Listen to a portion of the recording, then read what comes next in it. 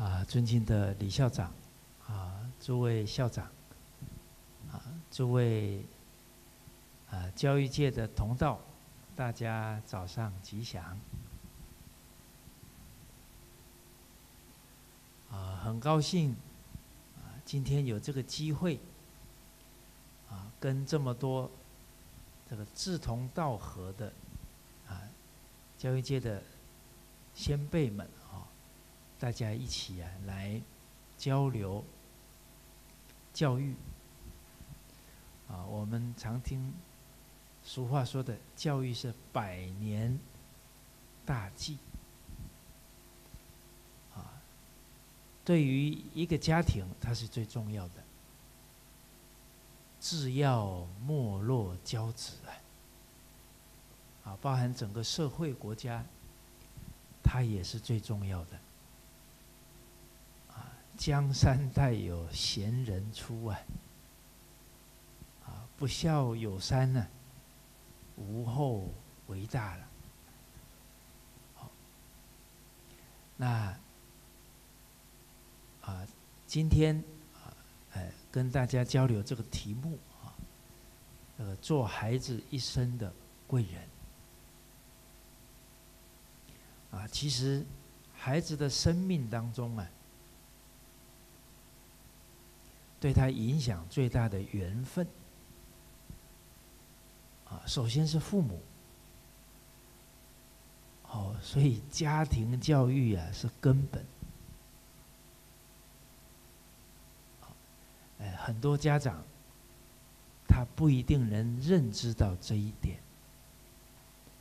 啊，他假如认知不到啊，他会不会重视？不一定会重视的。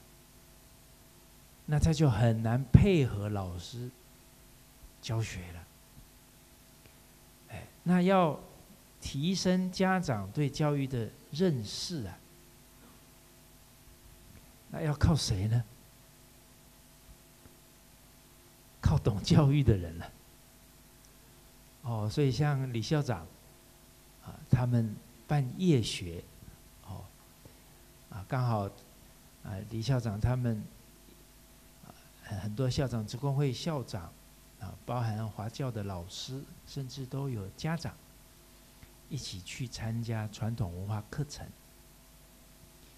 啊。因为我们当时候在庐江啊，有晚上的教学啊，叫呃这个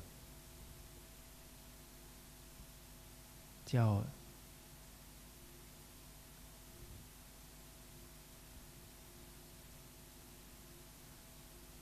呃森呃森林课堂啊，就是在树下教学，哦，那很多啊绿色课堂啊绿色课堂，哦，那很多家庭啊祖孙三代啊一起来听课，哦，当然教学方式很多啊，常常会唱歌啊。唱一些好的歌曲，啊，因为《孝经》有说啊，“移风易俗，莫善于乐。”啊，那个音乐，啊，昨天我跟小朋友交流啊，啊，比方说我跟他们谈到弘一大师，啊，啊，我念了几句歌曲啊，歌词哈，“长亭外，古道边。”芳草碧连天，他们一点反应都没有，啊！结果我就用唱的，马上起了很大的变化，哦，大家会唱吗？来看，长亭外，古道边，芳草碧连天，大家感觉到。这个音乐 就，哦，还是很不一样吧？你看古人这些智慧啊，哦，我们王大夫啊，他是中医大夫啊，之外呢，他还有一个身份啊，他是古琴老师，哦，哎，大家假如有掌声的话，哈，哦，哦。那他就不得不弹几曲啊，啊，给大家听一下，哦，哦，这个古琴啊，真的对人心啊，啊，这种陶冶的力量还是很大。啊，我曾经啊跟几个啊这个老同仁呢，啊，我们一起喝茶啊，那我也算福建人啊，福建泉州晋江。这个时候呢，我得跟我们沈木鱼老先生攀点关系啊，我跟沈老师同乡啊，哦，哎，大家一起喝。大红袍啊啊，这个福建是啊武夷山呢，岩石很多啊，所以产的茶是岩茶啊，是这个温性的不凉。结果大家喝着茶呢啊，当时候啊啊，请我们王大夫弹一首曲子啊啊，这个曲子。名称呢，没有跟我们讲。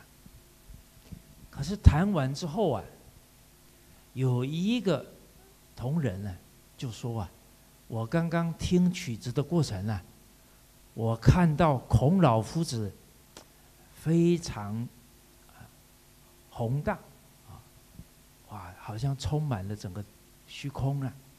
我看到孔老夫子现在我的面前了，哇，结果。我们才知道啊，啊，王老师弹的曲子呢叫《幽兰》，就专门呢，就是在赞美孔子的歌曲。哇，你看那个古琴曲有有能量啊，有磁场啊，敏锐的人呐感觉到了，啊，我就想到一个公案呢，孔子当时候跟思襄子学琴啊。结果弹到一首曲子，啊，孔子很好学哈。他说：“我要自己来感受一下这个曲子的作者。”啊，哎，他一直弹这个曲子啊，最后一段时间后啊，他说：“我知道是谁做的，是文王。”果然那首曲子叫《文王操》。哦，所以古琴。以前读书人呢，每天都弹琴啊，修养自己。哦，所以我们可能可以做一个调整啊，把看手机的时间呢，调整成弹古琴。哇，那我们整个身心的状态，哦，应该会很不一样啊。哦，那当时候啊有。晚上的绿色课堂，啊，结果我们李校长他们去完之后啊，哎，他们觉得这个方式很好啊，他们回来就办夜学，哎，晚上啊，给家长、给小朋友上传统文化的课程，好，那家长来了，啊，我们就可以跟他引导怎么教育小孩。而且家庭教育的重要，我们让他体会到，这样教育就形成合力了。父母跟老师配合了，啊，再来他假如三代人一起来呢，哦，那爷爷奶奶跟爸爸妈妈会配合了。啊，假如没有认知正确的教育理念了，那不止不能配合了，可能还互相撤走。啊，甚至反方向啊！哇，那孩子在中间难不难过啊？啊，我到底是要听我爸爸的，还是听我妈妈的？啊，其实只要父母、家人不和啊，这个对孩子内心的影响非常大。哎，我们现在当父母啊，有时候太粗心了。都不知道自己的一句话，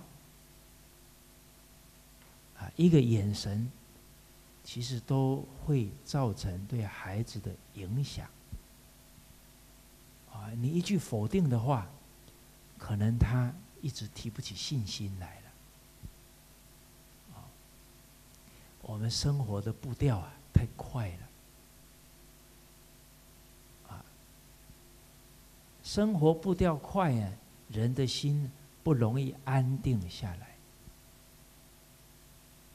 其实心不容易安定啊，我们看不看得清楚自己？我们容不容易感受到我们亲人的状态？哦，这个是整个都市化之后啊，人要思考的问题啊。啊，曾经听一个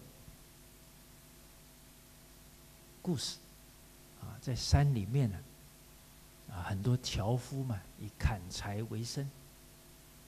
啊，有一个樵夫啊。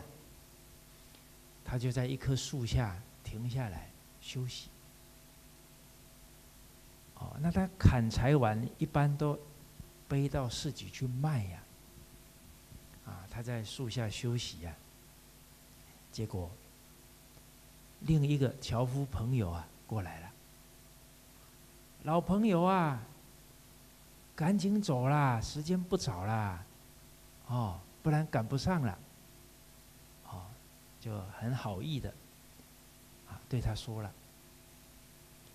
结果呢，这个坐在树下休息的人呢，就对对方说了：“啊，我等一下，等我的灵魂跟上了，我再走。”啊，诸位同道啊，我们的灵魂跟上了没有？现在我们在饭店里上课啊。灵魂跟我们的身体融成一体了没有？假如昨天的事我们还在纠结呀，那个灵魂还没有回完全回来了。其实啊，人生追求幸福啊，首先有一个最重要的条件呢，心要能安呐。一个心不安的人，他再有钱，他会快乐吗？他会真的幸福吗？一个有地位的人心不安，他也很难喜悦。所以幸不幸福啊？外在拥有的东西呀是次要的，主要的是这颗心呐。哦，所以有一句话讲，幸福不是拥有的多啊，而是计较的少啊。哎，这些话都给我们很重要的提醒了。啊，不知道大家有没有仔细观察过啊？有钱人得忧郁症多啊，还是没钱的人呢？哦，这个值得去了解了解呀。没钱的人呢，考虑的是一餐饭吃不吃得饱啊。有钱人呢，还要担心啊，我的子孙会不会打我的主意啊？我这个钱是要放在呃汇丰呢，啊，还是放在泰戈是吧？好像。好像有一家银行是一个狮子是吧？哇，还是要买股票呢？哇，你看那个股票一买啊，他的心跟着什么？七上八下了。啊，科学家在提醒我们了。科学家说，啊，现在的人啊。一两岁的时候，平均一天笑一百八十次；成年以后啊，平均一天笑七次。哎，科学家这个是数字哦，在提醒人：努力有结果，不一定会有好结果。你看现在的人。比以前的人忙碌多了。可是，假如得到的结果是越来越不幸福了，那到底他他在追求什么？哎，我们也听过有人说了，我打算呢，四十五岁我就退休，我现在拼命赚钱，到四十五岁的时候啊，我就可以环游世界了。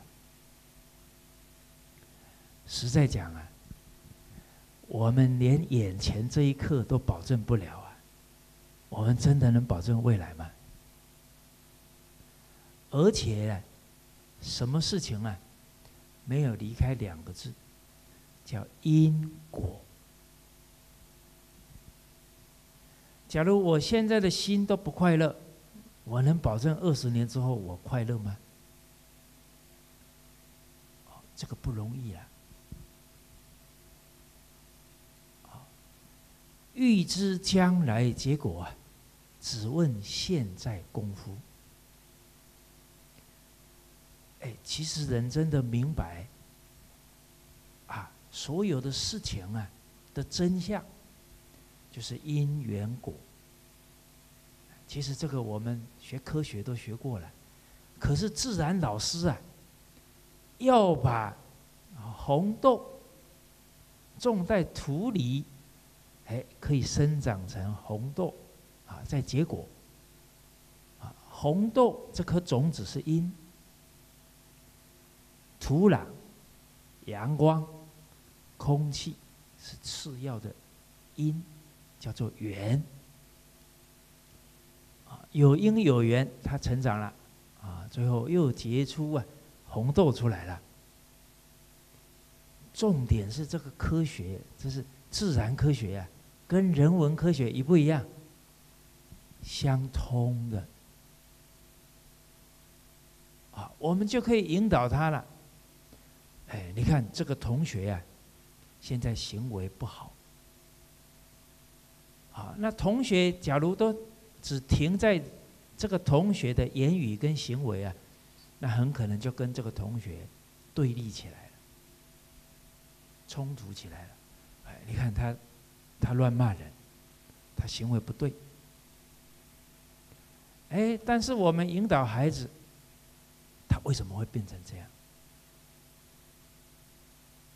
我以前遇到一个学生呢，很会打人呢，全校都怕他，老师也嫌弃他。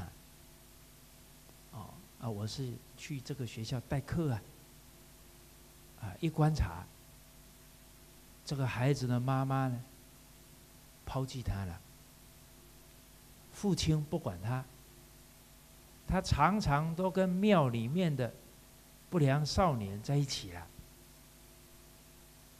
那他现在这个结果是必然的，哦，所以我的啊师父啊，他老人家说了一句话，哎，我深思了很久啊。他说：“别人错的也是对的，我对的也是错的。”哎，为什么别人错的也是对的？啊，就是。别人现在的行为错啊，他一定有原因的，他不会突然变成一个恶人呐。啊，那个对的意思是正常的，其来有志的。啊，我对的也是错的，因为当我觉得我对的时候啊，我可能会觉得自己高啊，别人低了，我对啊。别人错了，这样我的心可能就不是在真心的状态了，可能就有傲慢了，啊，有高下，有瞧不起人的心态会产生了。哦，所以这一句话，严以律己啊，我的心要用对才对。好，宽以待人，啊，怪不得他会这样啊！哦。这古人处事啊，哎，好多的教诲啊，都离不开孔子他贯穿的道，他的道，夫子之道，忠恕而已矣。啊，夫子教诲学生一啊这么长的时间呢，用两个字贯穿，所有的教诲都在呼应忠恕之道。啊其实也在教我们呢，用真心。我们用了真心，这个事就往好的方向走了。不管这个事多严重，这个是我们没有办法决定的。啊，比方说这个孩子到我们班上来了。他可能失教了三年，可能失教了五年，这个我们没有办法改变了。啊，其实我们现在面对人事啊，都会有一个感触啊，叫冰冻三尺，非一日之寒。哇，还剩十分钟啊！哎，这一节课只有一个小时是吧？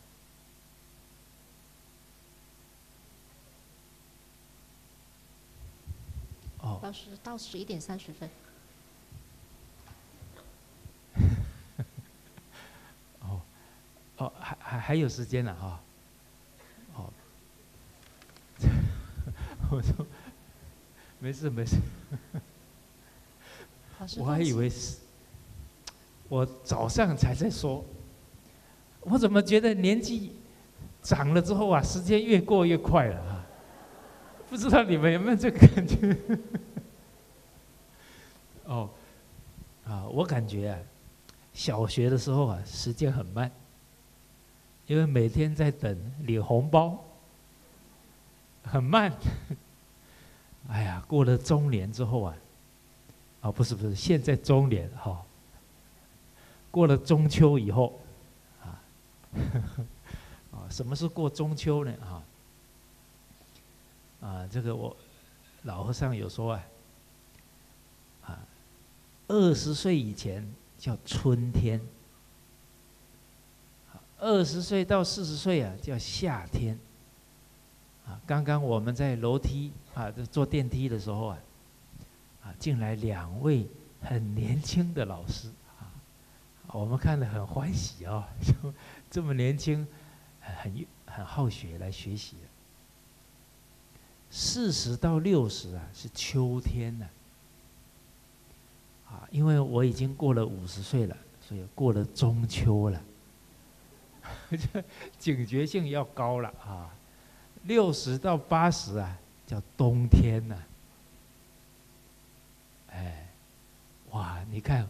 我们几位校长呢，到了冬天了，你看他们的热情跟夏天一样啊！哎，我们给他掌声鼓励一下。哦，我我每一次看李校长讲话，我都觉得很汗颜。哇，你看他丹田有力啊！哦，哦，他给我们展现一个人生的古话，叫。人生七十才开始啊！哦，哦，这个诗词里面说的“莫道桑榆晚呢，微霞尚满天呐。”哦，那桑榆其实就是指黄昏呢。哎，虽然人到了黄昏了，但是呢，那个黄昏可以照亮整个天空啊！哎。那啊，我们这个老和尚啊，哎，也是勉励我们这些学生呢。人生短短几十年呢，啊，总不能白来这个世间一次啊，总要做一些有意义的事情。啊，我们就想到文天祥的一句话。人生自古谁无死？留取丹心照汗青啊！首先呢，要对得起自己呀。啊，回首看看人生，哎，哪一段时期，哪一年，觉得啊无怨无悔，哎，那对得起自己啊。对得起自己是自爱呀。我们自爱，才能爱人啊。啊，假如我们身心都不安安稳，我们怎么去爱别人？我们身心安了，我们才能安家人、安学生呢。啊，师者传道授业解惑，我们心里面疑惑没了，安心了，我们才能去安学生的心。啊，理德心能够安。啊，哎，我们不是啊。书读得多就能安心。啊，我记得当时候有一天早上报纸一打开，当时候我才十多岁呀，看到那个标题好大，高学历、高离婚率、高学历、高失业率，哎，书读了不少哦，但是。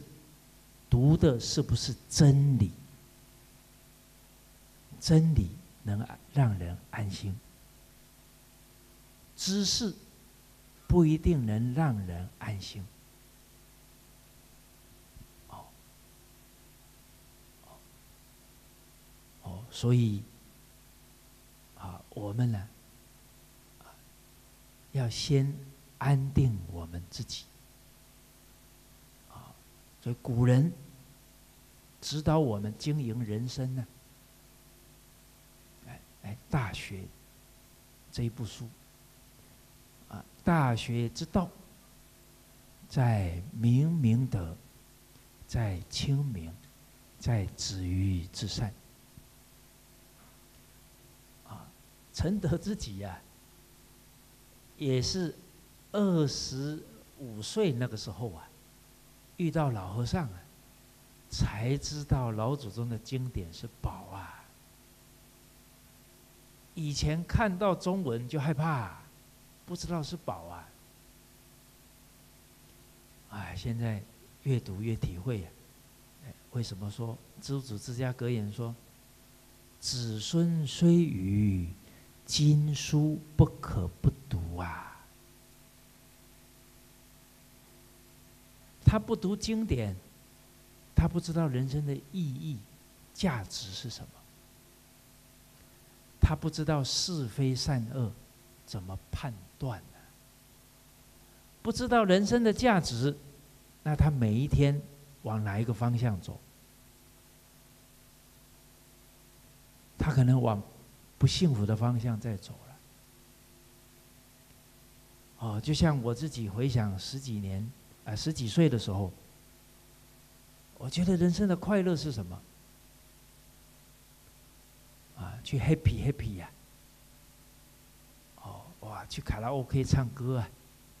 啊，越唱越郁闷呢。给我一杯忘情水，喝下去有用吗？哎，你要懂得随缘，不要攀缘，不要强求。你才能解脱出来啊！不然，抽刀断水，水更流；举杯浇愁，愁更愁了。哎，走入一个误区了。什么误区呢？觉得快乐从外面可以来，那个叫刺激。那个刺激呢，只是让痛苦暂时不去想，而不是那个痛苦解决了。哦，这个值得我们思考清楚了。哇，你看那些去唱卡拉 OK 了，哦，或者去吃饭吃到半夜，你说他乐了吗？问题解决了吗？可是他过这样的日子啊，有新的问题会产生呢。他的身体会受损身体影不影响心理？影响啊！而且啊，今天我们所面对的家庭、工作的问题，假如我们不知道怎么处理为好，你逃避它，你把它放一放，它会变好吗？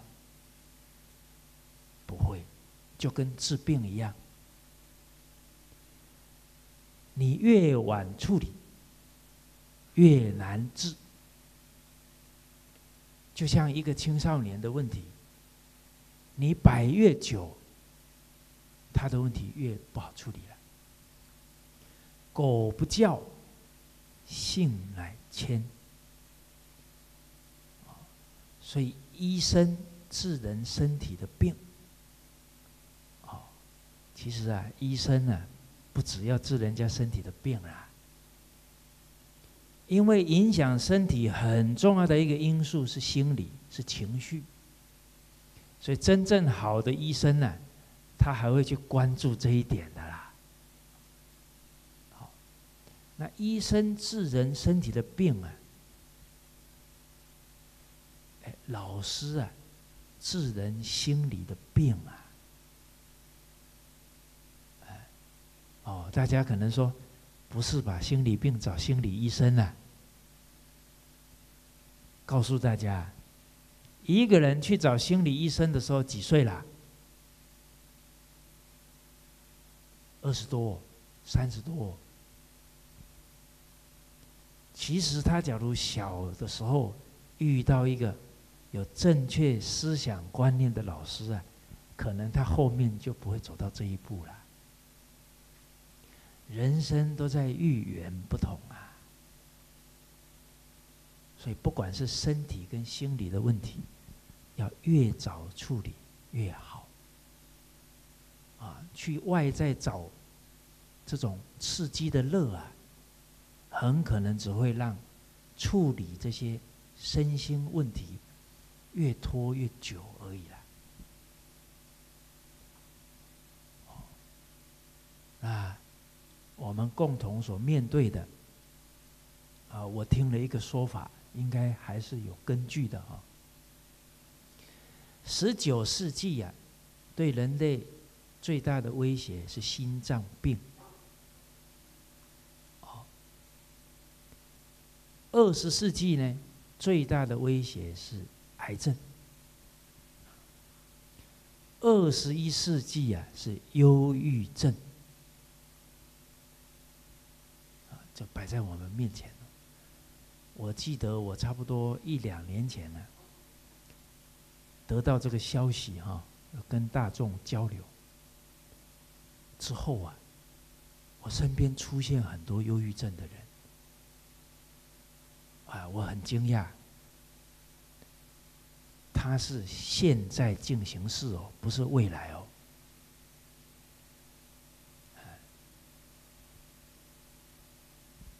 就像刚刚跟大家沟通到，可能当家长的人，他并不了解他的一句话、一个眼神对孩子的影响有多大，他不了解。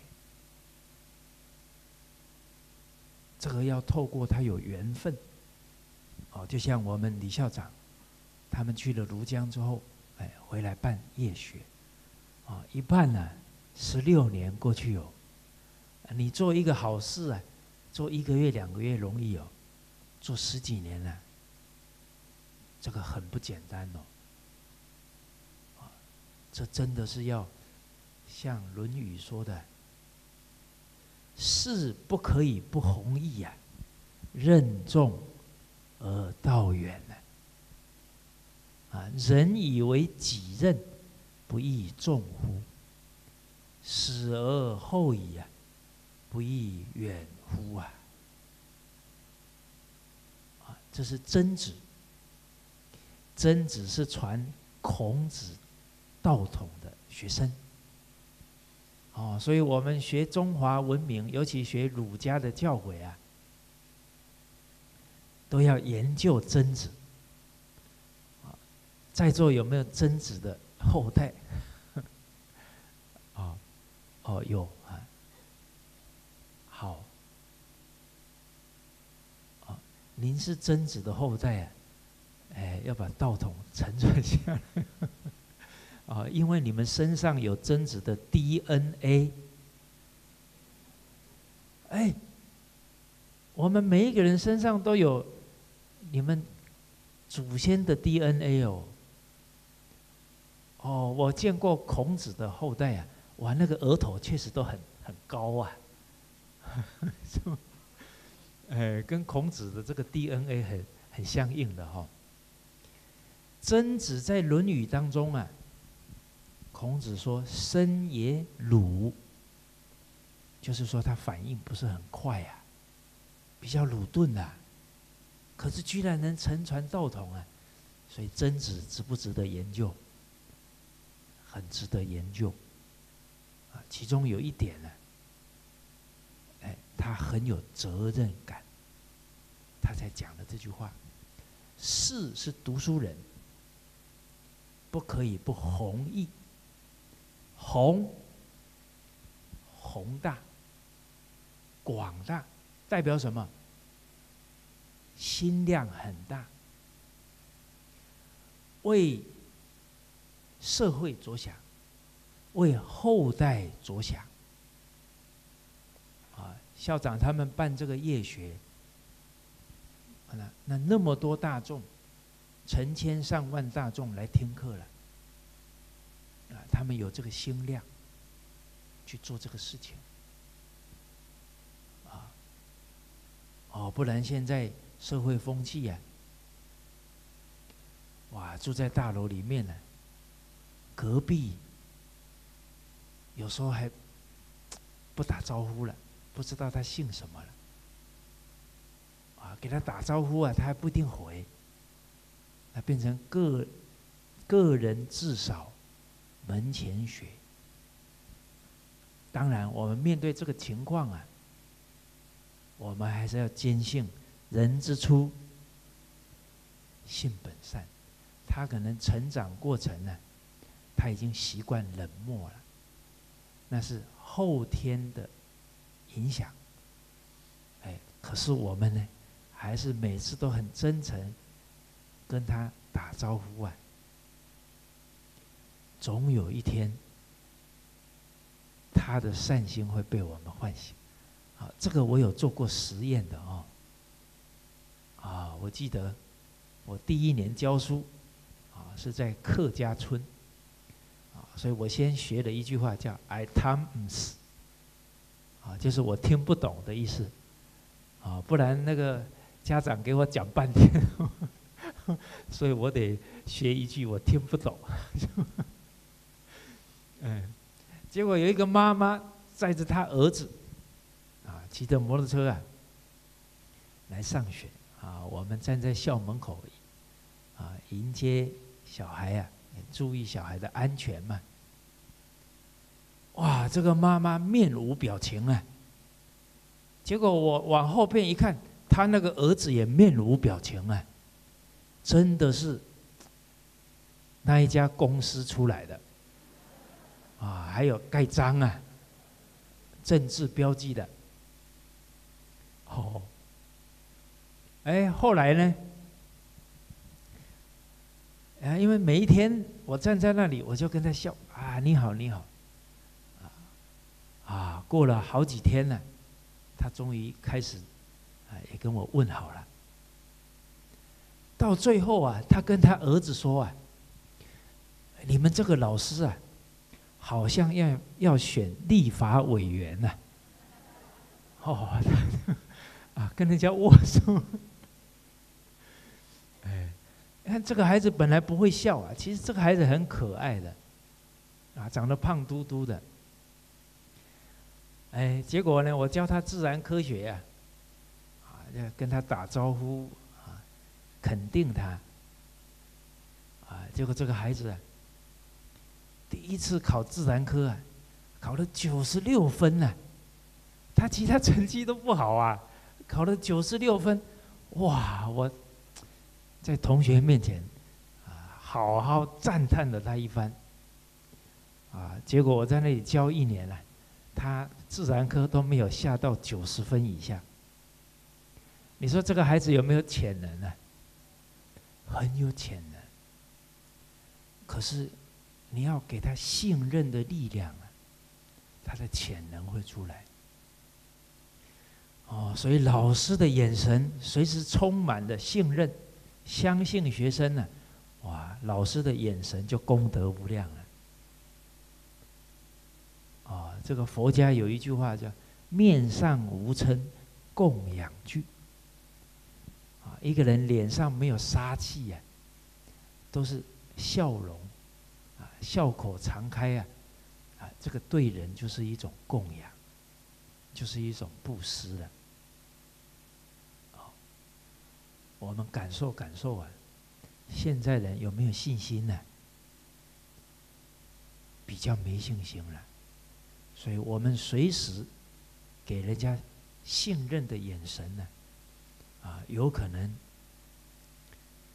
啊，他的命运呢，就因为你的信任而改变了。啊，所以要少说批评的话。多说鼓励的话，批评造成隔阂了。啊，我们带着带着这个气呀，批评学生呢，可能就跟他造成隔阂了。啊，鼓励激发潜能。啊啊，我们鼓励的言语啊，哎，把他的潜力啊发挥出来了。天生我材必有用啊！每一个学生，他先天带来的特质、才能都不一样。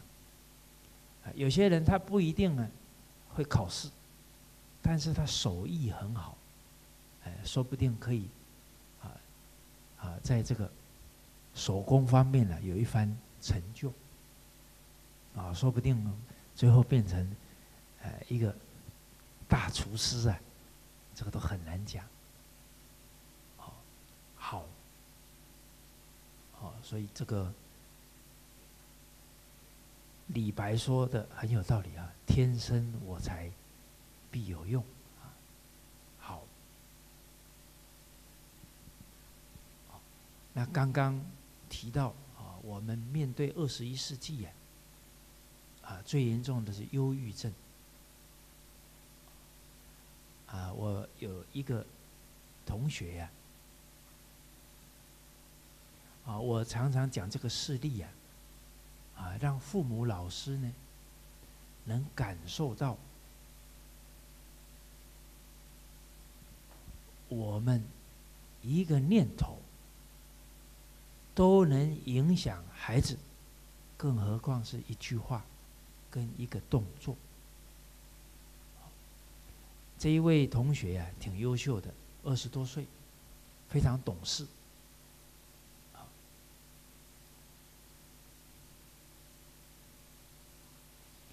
结果有一段时间呢，他自己就会冒出一个念头：我妈妈不要我了。他自己都莫名其妙啊。后来他实在忍不住了，啊，因为在。英国读书嘛，他给妈妈打电话，说：“妈，我觉得很莫名其妙啊，我最近怎么都冒你不要我的念头啊？”他母亲说：“傻孩子的，我怎么会不要你呢？”挂完电话，他妈妈静下来想了，知道原因出在哪了。当时候知道怀孕了。打算拿掉，你看一个念头就是种子，尤其呀，的胎教好重要啊！这个胎儿跟母亲啊同频共振啊，啊，母亲一个念头他收到了，一句话他听到了。啊，我们老祖宗就有这个教育智慧了。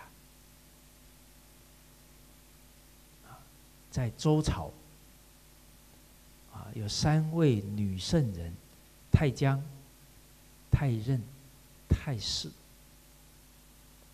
周朝出了好多圣人呢。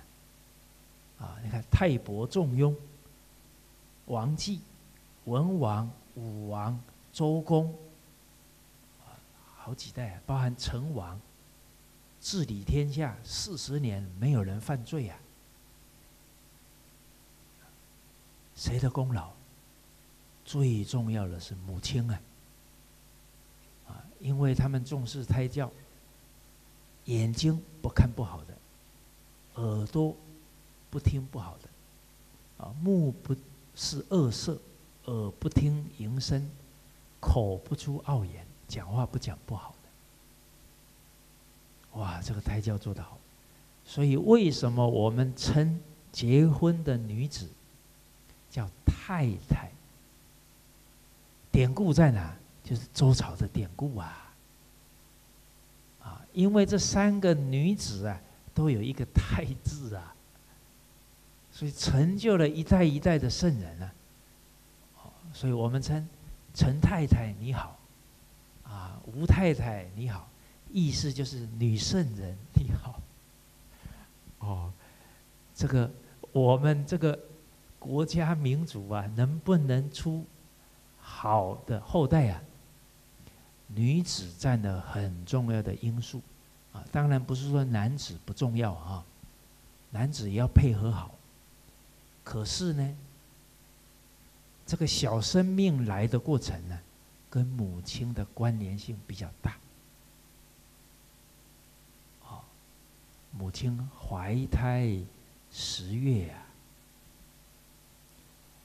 陈德是真正见过、跟而且相处过这些胎教的小孩。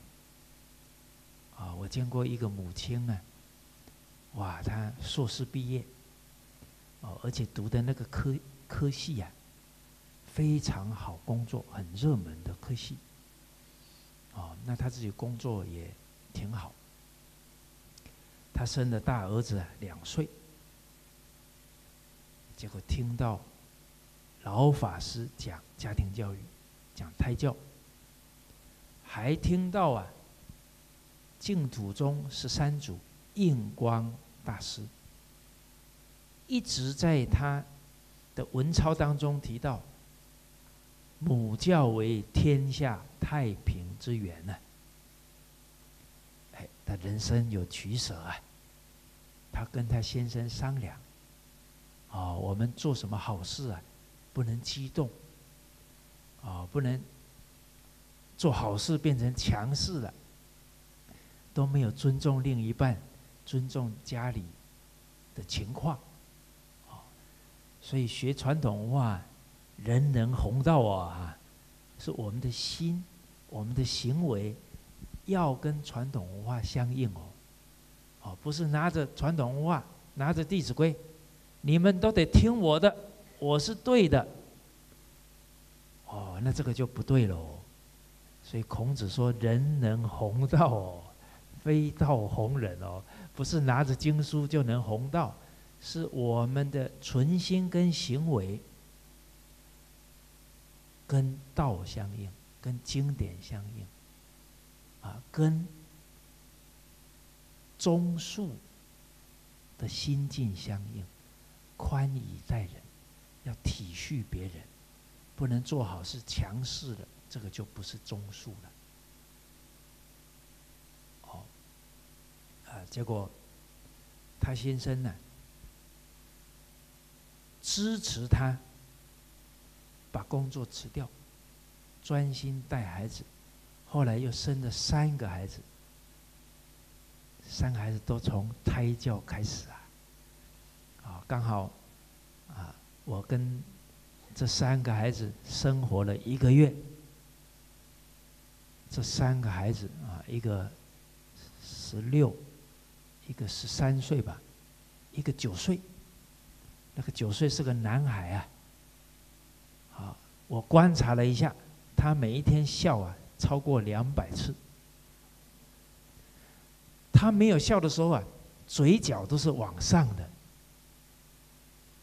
啊，大家感受一下，那个嘴角往上的人哦，那个财神爷的金元宝啊，哪怕掉在旁边，都自己滑到正中间来了。啊，这个嘴角假如是往下翘的呢，哪怕这个金元宝掉在中间也滑掉了。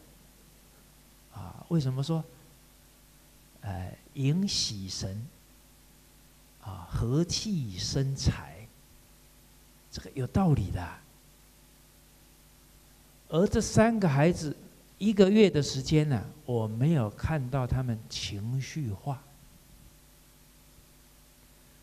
哎呀，人生真的有舍有得啊！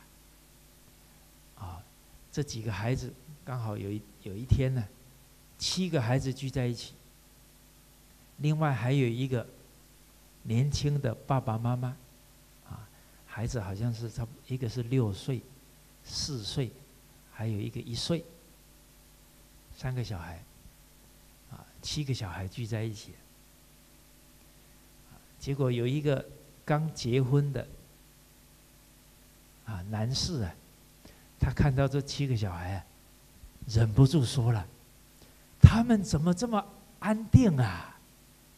啊，我姐姐那个小孩，啊，只要他一出现了，哇，就跑来跑去。哦，他说我没有见过这么安定的孩子。这个教育啊，啊，我们接下来课也会跟大家再交流。《礼记学记》，啊，这个是老祖宗一篇呢非常完整的教育哲学。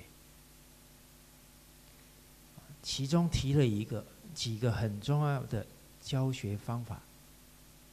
第一个，静于未发之未预，叫预防法。你等到他脾气大了，你再教就不好教了。要预防。当其可之未时，叫及时法。不灵节而失之啊。就是循序渐进法，不能操之过急，不然会揠苗助长。相关而善之谓魔，叫观魔法。啊，我们还安排啊，像我们廖德胜校长，啊，哎，他在学校，啊，而且他接触传统文化，啊，他后面当校长啊，是两个学校。哎，他在两个学校都推广了，哎，他积累了一些宝贵的经验，啊啊，包含我们李校长、庄校长他们啊，在一路都在推广啊。庄校长学校康乐华小都做得很好，更可贵的是，你看他退休了，学校还一直在做，啊，所以我们做一件事啊，做一个有意义的事啊。还要考虑啊，要有接班人，啊，好，好，那这个当其可之谓时，就是及时法。这些孩子从胎教，父母就知道要教了。哇，你看最黄金的时段，其实。越早教效果越好，这就是一个时节因缘。机不可失啊，时不再来啊。所以有机会应该跟教育部长聊一聊，聊什么呢？应该啊，小学老师的薪水啊，要比大学老师高。大家认不认同？最重要啊，而且最辛苦啊！哦，幼儿园老师哇，那个那个都是最黄金的时候啊，影响孩子可能更深远了。啊，机不可失啊，时不再来，啊掌握时节因缘呢。好，那当然每一个家庭的情况不一样。啊，纵使父母是双薪，但是只要他有教育的理念，啊，他一定会很用心的，啊，比方工作再忙。回到家，这个爸爸啊，每天都会陪伴孩子十分钟、二十分钟，给他讲讲故事，关心关心他发生的事。可能他那个父子有亲啊，就一直保持了。啊，他学校什么事？爸爸，我跟你说；妈，我跟你说。假如孩子进门，爸，我回来了啦。跟爸，来来，爸，我跟你说，一不一样？差很多喽。啊，假如这个孩子进门，爸，我回来了啦，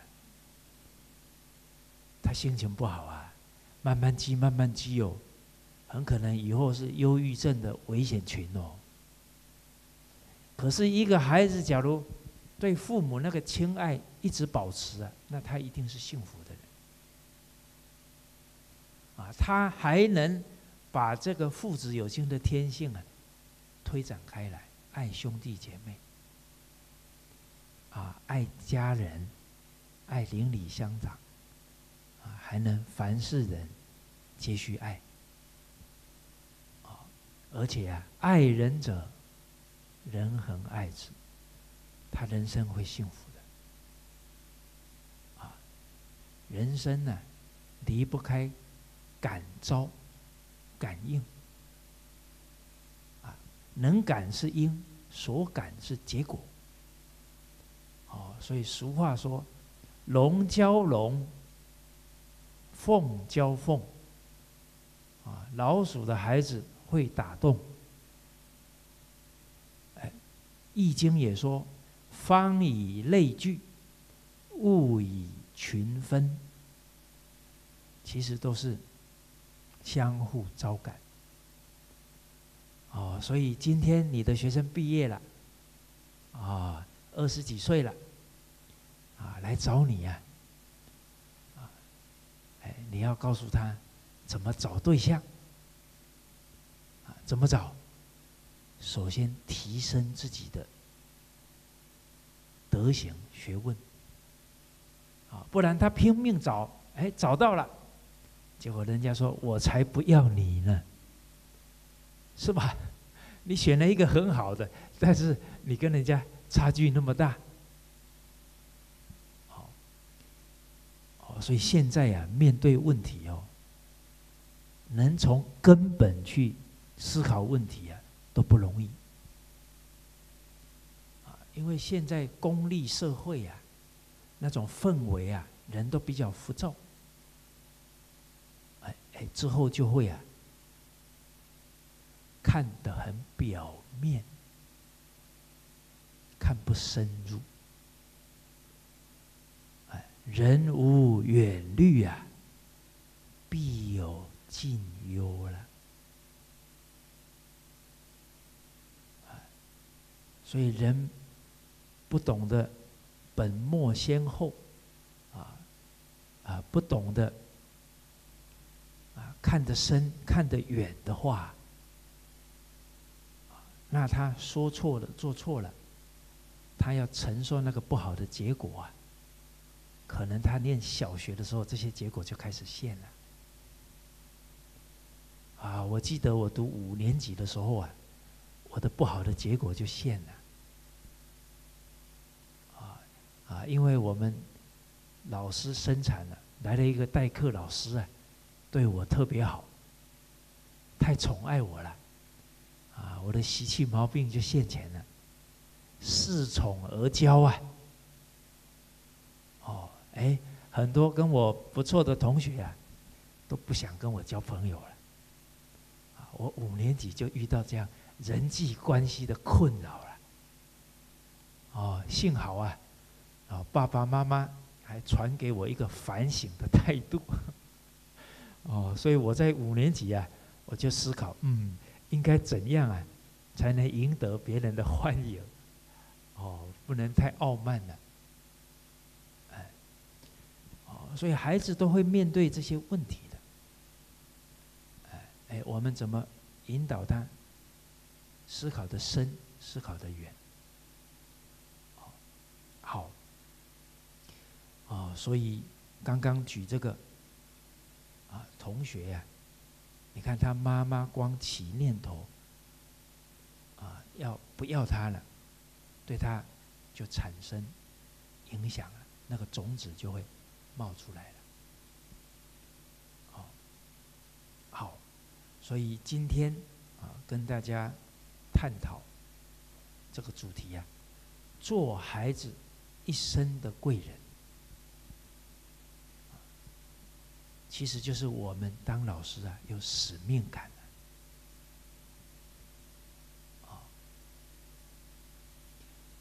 我们刚刚讲到曾子的一句话：“事不可以不弘毅。”我们老师也是读书人啊，就是事啊。我们也是公务员啊，这个都属于事。弘。我们心量大，啊，我们包容孩子，啊，他来自不同的家庭背景，啊，我们都能包容体恤他们，啊，用我们的爱心啊陪伴他们，啊，义呢是毅力，啊，而且是强而能断。强，这个强势啊，天行健，君子以自强不息。哎，哪怕教学当中遇到一些挑战，哎，能够啊，越挫越勇，百折不挠。啊，其实我们回想人生呢，哎，哪一段时期呀，我们成长的比较多？哎，往往是我们遇到逆境了，遇到挑战了，哎哎，磨练我们，我们提升的多了。所以我们能用对心啊，这个逆境恶缘呢？也是提升我们的真上缘呢，不是坏事情哦。好，这个李炳南老师，啊，这个是老和尚的老师了，啊，他有一句勉励我们的话，叫“困难越大，功德越大”，啊，欢迎困难。欢迎困难。哦，这一段话我加了一个横批啊，叫“放马过来”。哦，其实啊，我们在处理事情啊，我们不要陷在这个事的人或者事。你现在这个事情里面的人呐，还有这些事情啊，你可能睡觉都睡不着。翻来覆去，哎呀，他怎么可以讲这种话对我啊？我们关注的重点呢，在我们的心念上，哎，这样就简单多了。啊，我们不向外，我们一向外想这个人呢，想那个事啊，容易生烦恼。我们向内。所以传统文化叫内学，往内，行有不得，反求诸己，啊，反省自己。哇，那是处理事情变简单了。为什么？我只管一件事，管好我的心。啊，哎，他有脾气了，啊，我赶快啊，让这个脾气降下来。他有自私了，我让这个自私降下来。啊，我用爱心，啊我用心平气和去处理事，哎，事一定往好的方向发展了。哎，突然体会到这一点了，哎，好像身心轻松了，啊，因为不是很费力啊，因为我只管一件事，管好我的心。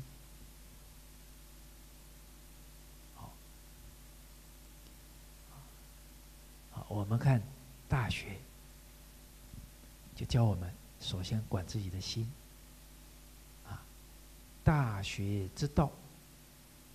在明明德，在清明，在止于至善。啊，大学之道啊，就是大人之学。啊，一个人啊，要做出啊人生的贡献，啊，有意义的人生，啊，这个都是大人之学。怎么做呢？在明明德，就是第一个明啊是动词，第二个明是名词，啊明德呢，这个明就是智慧，德就是德能福报，第一个明是恢复的意思，恢复我们本有的智慧跟德能福报。哎，跟《中庸》呼应哦。《中庸》一开头啊，就说“天命之谓性”，那个性就是本性。天让我们感受到什么？自然，自然就有了。命呢，带来的，与生俱来的。啊所以，儒家说的“性相近”，我们都有同样的性本善，但习相远。后天的这些习染不一样，啊，这是狗不叫性乃迁，后面影响。哦，所以我们首先呢，人生是先爱自己。恢复自己的智慧德能，啊，比方说一个人自私啊，放下了，念念为人想啊，他的烦恼少了，智慧增长了，福报福田心根，越来越有福气了。哦，就像我的老师，他命中啊。没有福报，啊，他他老人家学传统话以前呢，脸瘦瘦的，没有福报，而且短命，只有四十五岁的命，结果后来他学习了，很认真，啊，出来讲学十二年，结果四十五岁那一年呢生病了，他也想，那我时间到了。啊，后来恢复了。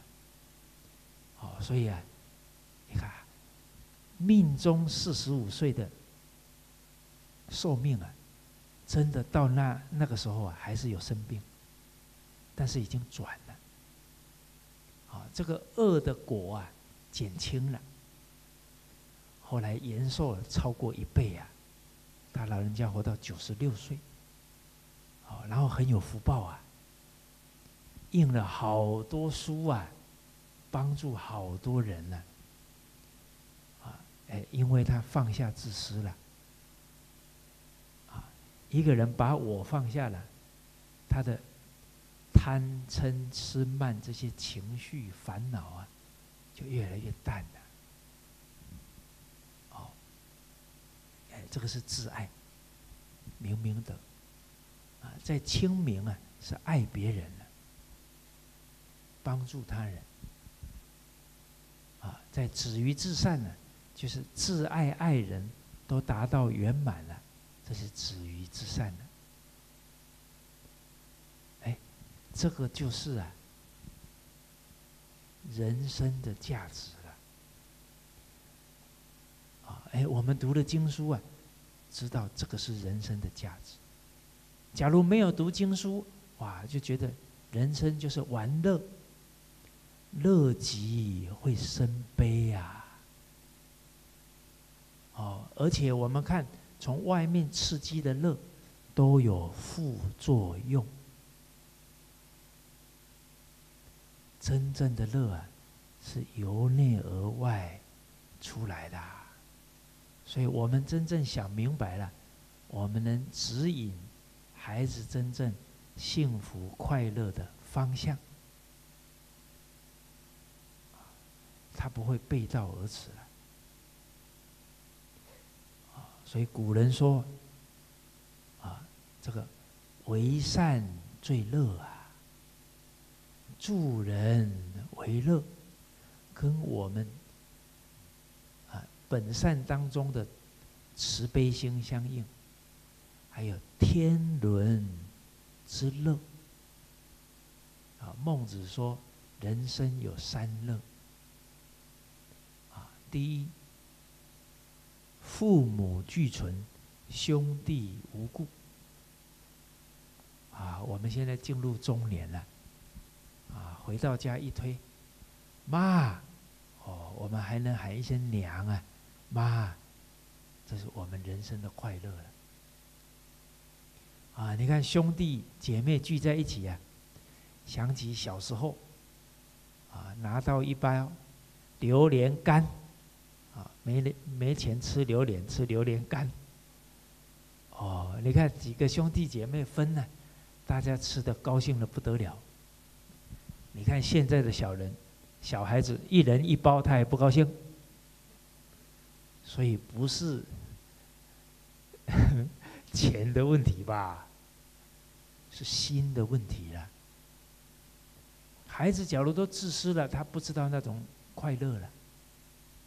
啊，兄弟姐妹都互相礼让，互相爱护。哇，那吃吃一包东西都，现在三十几岁、四十几岁回味起来都很很回味无穷啊。这天伦之乐啊！再来，养不愧于天，俯不作于人。良心的快乐，对得起自己的良心。其实我们去感受感受我们的生命啊，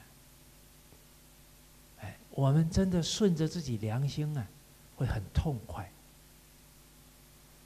啊，当我们觉得该做的事没有做完，心上好像有点。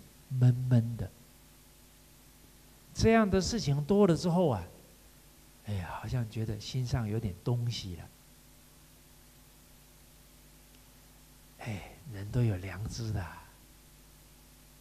哎，当我们觉得啊，我应该去尽点力，啊，去尽完之后啊，哎，好像心上那个东西就掉下来了。哎，所以真正的快乐啊，顺着自己的良心。不然呢，该该见义勇为的事没有做啊，夜阑人静的时候啊，还是觉得不踏实。哎，第三呢，得天下英才啊，而教之，人生的第三乐。啊，这个我们当老师啊，就这个感觉了。啊，我们尽力教这个学生。他懂事了，他进步了，啊，我们比他还要高兴。哦，就像我刚刚讲到那个小朋友，啊，都考九十几分，啊，哎，我脑海里他那个影像啊，都浮现出来了。啊，这个都是啊，人生美好的回忆。啊，我们的心里面要装多装一些。美好的回忆哈，哎，我在英国的时候啊，遇到一位农夫，啊，他种有机的，他七十岁了，好，结果我在跟他交流的过程呢，啊我是跟他提到啊，人呢。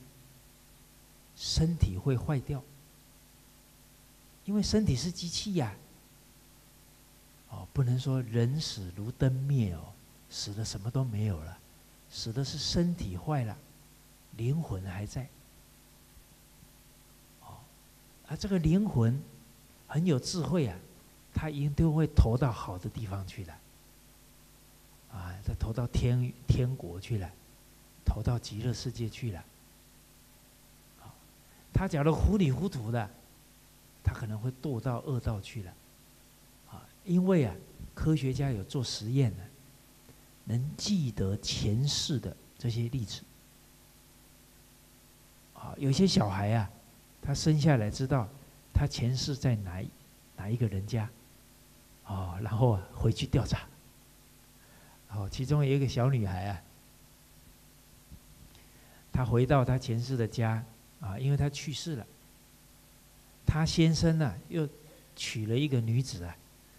那个小女孩七八岁啊，看到那个女人呢，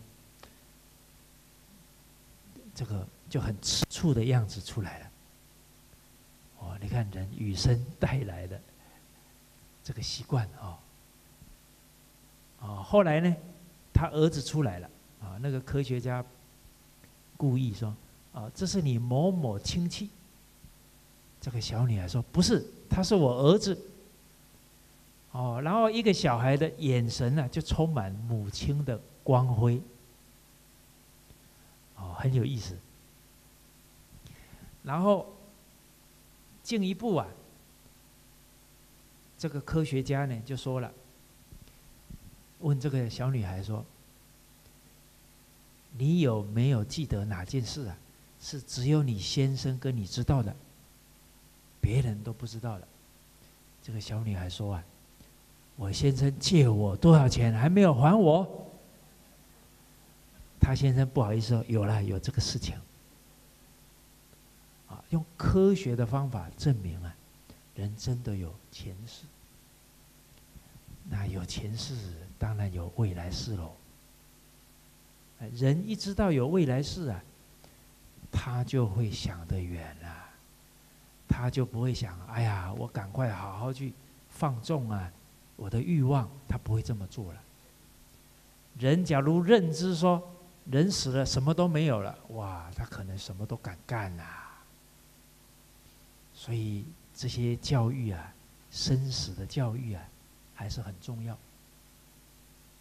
结果我给他讲这些例子啊，哦，这个老先生很有意思，嗯，可能是巧合。啊，我给他讲了两三个，他都说巧合。所以改变一个人的观念容不容易啊？不容易啊！啊，当然这个时候我不能强求啊。哎，你硬要去说服别人呢，那是自己的执着了。啊，我讲了两三个故事啊，看他，嗯，巧合啊，我就停了下来。因为他七十岁了，那么大年纪了，所以聊聊这个主题呀。哎，我一停啊，换他说话了。他说：“这个人很奇怪呀，啊，我自己的人生走了七十年了，也经过很多快乐的事情啊，可是我现在只要想到过去呀，都是不愉快的事。”哎，他自己也想到这一点了。所以一个人呢，要善待自己呀。我们想以前的事，都要想什么呢？想快乐的，想好的，叫念恩忘怨。念别人的付出，念别人的恩德，忘掉那些不愉快。其实我们能指导孩子啊，常常念恩忘怨的。大家去感受感受，他这个态度，他会迎来什么样的人际关系呀？别人不好，他都不放心上；好，他都肯定，都念恩，别人会很感动啊！哎，我不好你都不记，我好你就给我肯定，人的善根就被他唤醒了。哪怕这个人过去生跟他缘不好啊，都会被他转过来了。哦，所以这种处事的心态呀，非常重要啊。所以我们看《大学》，教我们挚爱爱人，而且挚爱摆在前面，很有道理。因为我们懂得恢复明明德了。我们才能用我们的智慧跟德能去利益别人呐，啊，是用我们的明明德去清明啊。所以明明德功夫下在哪里呢？格物致知、诚意正心，下在我们内心的功夫哦。啊，你看古人知所先后啊，由内而外。叫内圣外望，啊，先提升自己的道德学问，格物格除物欲呀，格除坏习气呀，啊，烦恼轻了，自知智慧长了，哎，人有智慧了，常常能关照自己呀，哎，我的心念有没有真诚？这诚意有没有正心？啊，哎我这个心有没有公正无私啊？去做啊，还是夹杂着我的目的呀？我要大公无私去做事。啊，哎，他的心对了，他身能修，家能齐，进一步利益社会，利益国家了。哦，好，所以我们要利益别人，要以修身为本。那我们现在要做孩子一生的贵人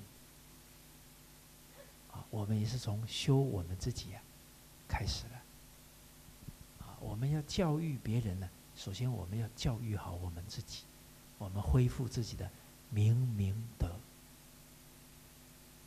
哦，好，那这个做孩子一生贵人呢，首先。谁来做？啊，父母要做啊，老师要做啊，啊，甚至包含你是公司企业的单位的领导者，也要做啊。因为可能这个孩子他在求学阶段呢，做人做事得到的教育。不足，啊，哎，那他刚好跟你的企业团体有因缘了，你有这个父母老师的心来对待他，哎，他会感谢你一辈子哦，这个都是积阴德了，啊，甚至于顾炎武先生，有提倡到天下兴亡，匹夫有责。啊我们每一个人都觉得，哎，我的言行会影响到别人，我要给别人好的影响，那都是在做。啊，一个小孩十来岁，他上了公车，他看到一个老先生上来了，老爷爷，来，我这个位置给你坐，大家感受一下。这一台公车上面的气氛有没有不一样啊？等一下有一个老人来了，会不会有人让座？会有。啊，这个孩子，他做出尊重老人的行为，他在影响这个社会了。所以每一个人都有这份责任来做。啊，哎，何时在做？啊，所以这个“做”字啊，很有味道啊。Who 谁来做？啊，会啊，在哪个地方做？啊，混什么时候在做？啊，How to do？如何去做？啊，这五个 W 哈，哎，还是挺有味道的哈。啊，还有两个 H，啊，叫 How to do，啊，还有一个叫 How much，哦，你做一件事啊，可能要有预算，好，哎，好，那何时做啊？啊，对陈德来讲，陈德自己回想回想啊，啊，有一次我到学校打篮球，一进门，看到我们学校的校长。他在这个大楼的角落啊，他在那里捡垃圾。哇！当初我看到啊，哎，现在那个影像都在我的脑海里啊。我从那一刻开始啊，我没有再丢过垃圾了。被校长感动了。其实啊，我们当校长、当老师，你在。影响孩子的时候，你自己都不知道。校长背对着我啊，他不知道。哎，像我的母亲，哎，有一次我们回外婆家，啊，那个司机呀技术不好啊，掉水沟里去了，结果那个排气管呢有一点小故障。结果到了外婆家，付了车钱呢，我母亲额外，这个四十年前的事哦，额外又给他五百块钱了。母亲觉得他们是做工的，不容易啊。我母亲根本不知道，都忘了这件事了。可是你看那个影像，而且我妈妈一句话都没讲，她也不知道她儿子在看啊。可是我的脑海。心里面浮现的这些字哦，哦，所以给学生、给孩子影响是潜移默化的，随时随地在做啊。好，我们时间到了，先跟大家先交流到这里。好，谢谢大家。